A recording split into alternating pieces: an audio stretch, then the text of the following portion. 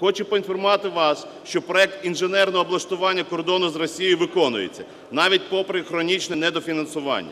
Вже цього року буде завершений державний кордон в Харківській області. Протяжність ділянки 270 кілометрів, з яких 200 з яких 220 кілометрів вже облаштовані. Паралельно продовжується робота в Сумській області. Міністр Арсен Аваков днями особисто інспектував роботи.